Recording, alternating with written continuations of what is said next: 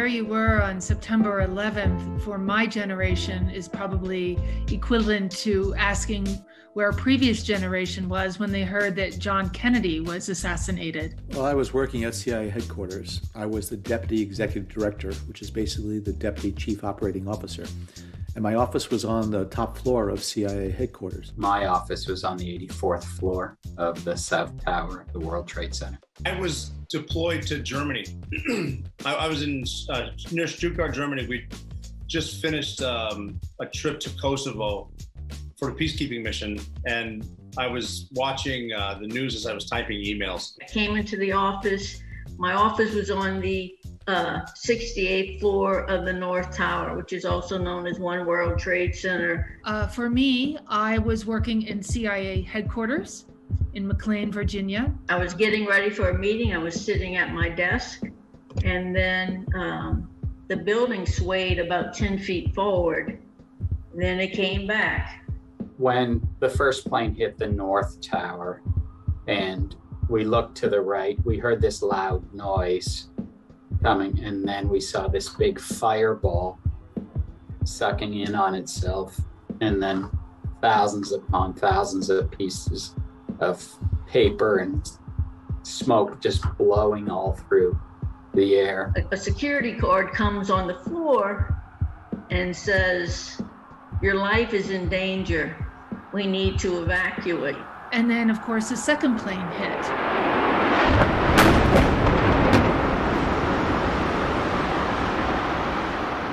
By that point, there was no doubt that it was not an accident. This was an attack on American soil. We're going down the floor, going down the floor. At some point, I think I was on the 12th, uh, 12th floor, and it, it felt like a major train had run into a building. We didn't know exactly what it was, but it would turn out to be the South Tower imploding.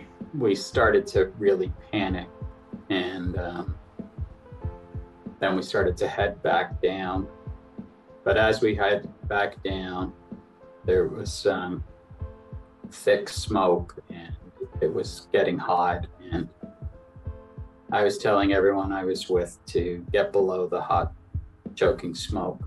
Um, and we were lying down, and um, I don't know if you believe in a higher being, but um, someone called me, and I got up and I went towards the fire and the flame, and I pulled back a sheet of drywall, and I saw the stairwell below, so I slid down on the drywall, and then I ran to down three flights of stairs that were on fire.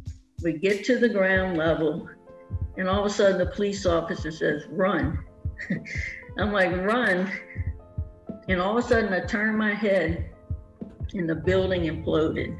Um, I ran and I barely got out of the building. I don't think I got out of the building. I got hit on the head, and then I went to sleep. Uh, and I woke up three days later in the hospital everyone in the room that I was in knew that the world had just changed and we're all going to go to war now. This is Al Qaeda. This is more than likely Osama bin Laden. It was clearly a huge intelligence failure. And part of that is due, there are many reasons a lack of communication between the FBI and the CIA, but ultimately it comes down to a lack of imagination of how this could have happened. It cost so little. There was very little training.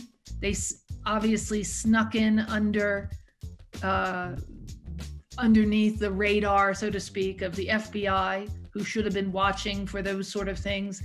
And in the aftermath, it seemed obvious, if you will, who who only who only learns how to uh, take off with a plane and not to land. You know, in in, in retrospect, there were so many failures. 17 years later, when I was diagnosed with PTSD, I knew I had extreme anxiety, but I didn't exactly understand why. My mom had called and said, We're coming up to Boston, and it wasn't. Uh, that wasn't a planned trip. So I kind of got the sense that something might be going on, but I was excited to see them. And I met them at their hotel and they had me it's so vivid in my mind because because they had me sit down uh, and they said okay dad has cancer. You know i think he said i have cancer. And i think he brought it up to his doctor who said yes it's very likely that your cancer could be the result of your, your time spent at ground zero. I'm not sure i think it impacted me um, mentally and physically. The anxiety when a truck would pass by a road or something, somebody would drop a box, I'm startled. I still have that today. Let me just say this the terrorist took my life. It, it sprung out of a deep sense of mistrust at the highest levels. I think between the CIA and the FBI. I mean, it's it's people have spent a lot of time and effort and thought and energy on looking into conspiracies and there was no conspiracy uh, other than our own C'était tout de suite après euh, l'attentat du 11 septembre que la traque Bin Laden s'est intensifiée, c'est sûr. Évidemment, euh, à Washington, euh, au CIA, il y avait tout un groupement qui, qui était des grands experts qui ont suivi les traces de Bin Laden pendant dix ans et eux, ils ont fait l'analyse de, du bâtiment, de ses courriers, de leur manière de, de communiquer et tout ce qui est devenu la, les indices d'une de, de, localisation possible pour Bin Laden. Our mission was to try to get um, high value targets, anybody from Al Qaeda that was still in Afghanistan. Ils ont euh, capté euh, euh, des transmissions de radio entre Bin Laden et quelques-uns de ses collègues. The second they told us it's Osama bin Laden, our question was cool. Are we going right now? Well, when we knew that we wanted to carry out the assault with helicopters uh, flying from Afghanistan into Pakistan, uh, the military said that it would be best to do it um, according to the lunar cycle, which means that they wanted to have the least amount of moonlight. And so every 28 days, we would have a three day window when we could carry out the assault. And so uh, at the end of April, um, we had that three day window. And if we didn't do it on that day, we would have to wait another 28 days. And we were very concerned that bin Laden might leave the compound. President Obama said, We need to go now. We don't want him to escape.